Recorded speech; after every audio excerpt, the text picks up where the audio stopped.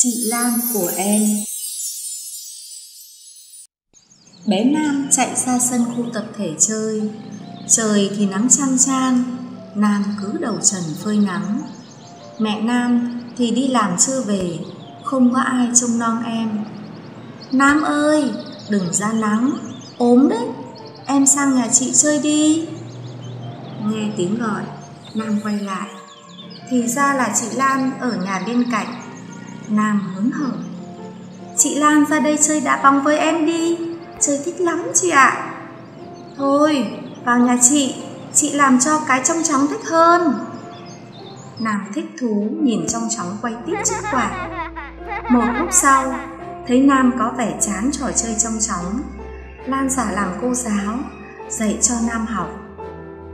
Lan lấy tập vở và bút chì, vừa viết, vừa chỉ cho nam đọc o, đây là chữ o. Em nhớ, chữ o tròn như quả trứng gà.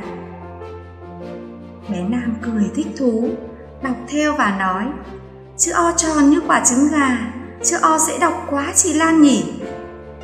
Vừa lúc đó, mẹ nam về, bé chạy ra mừng rỡ khoe, chị lan làm cho con cái trông chóng đẹp và dạy con học nữa mẹ ạ. À. nghe nam nói mẹ cười vui vẻ. Cô cảm ơn cháu.